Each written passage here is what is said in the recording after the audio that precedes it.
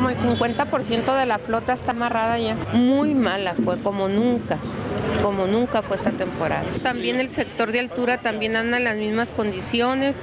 Andamos, hemos hecho algunas reuniones con, nuestros amigos y compañeros de allá de Sinaloa este, ante la Comisión de, Pesca. Hemos estado con el diputado que preside la Comisión de Pesca en pláticas, en reuniones en Culiacán, Sinaloa, buscando alternativas, también buscando alternativas de trabajo, porque es mucho el hombre que queda desempleado que trabaja dentro de la actividad pesquera. Entonces sería muy loable que los gobiernos hoy en día tomaran cartas en el asunto, que no dejaran olvidado este sector, porque definitivamente hay algunos nada más que son los privilegiados y los demás olvidados totalmente.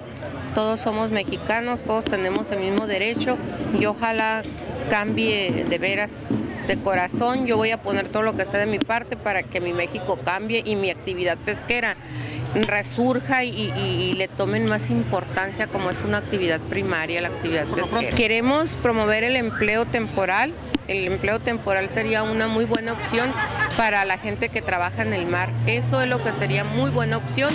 O buscar otras alternativas dependiendo qué especies van a, resurgir, que haya capturas fuertes en el mar, entonces seguirían trabajando dentro de la actividad, pero si no promover el empleo temporal.